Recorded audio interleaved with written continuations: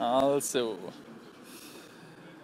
Ähm, ja, ich bin viel da, weil man einfach äh, viele Sachen kann machen und interessante Leute hat.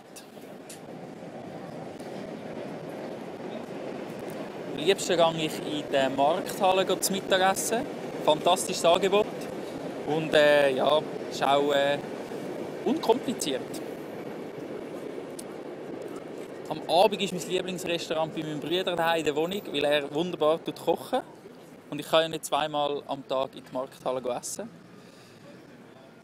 Bar Zürich West, Revington Sun, unten im Prime Tower.